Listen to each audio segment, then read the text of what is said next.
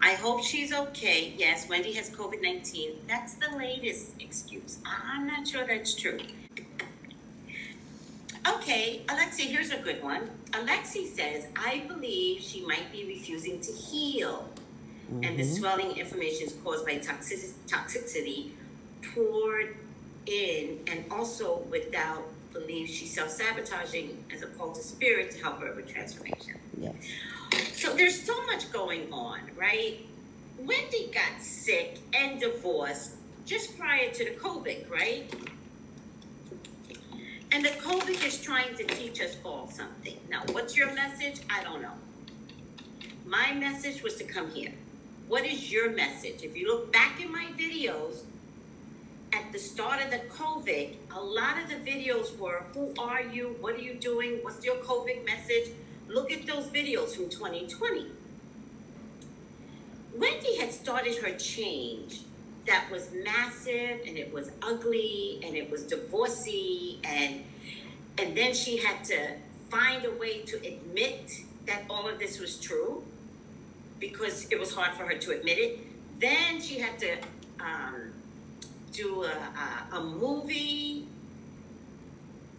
which forced her to look at herself, which is not a Wendy thing. Wendy does not look at herself, right?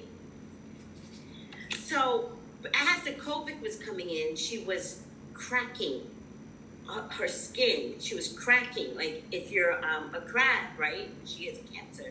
She was breaking herself down. She was like, I just got to do this.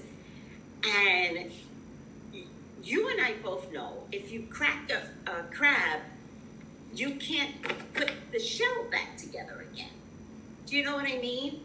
So whatever she was going through, it was too much. Mm-hmm. Even though she had to save face, she had to make money, she had to make um, money for the studio and the people, and she had to appear like she was okay, and yet every time she appeared she was okay, she fell big time. Like fell big time.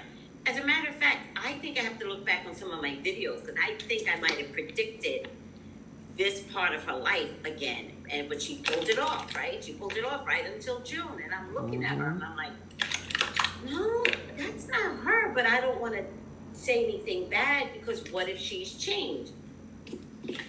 in terms of handling her drama. So, is she really sick, first of all? Mm-hmm. Does it have something to do with her breast implants? Her breast implants have been in here for 20 years. Um, is it taking a toll on her mental health? Yes. Are you hoping she's okay?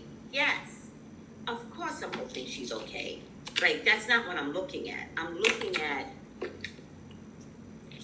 is it her breast implant? So is Wendy being her own worst enemy by mm-hmm. not looking at the very thing that could make her heal? Does that make sense, guys? And I personally do not believe that she has COVID. Mm. I checked with spirit when I saw it, and I said, "This is not COVID. This is another meltdown." There you go.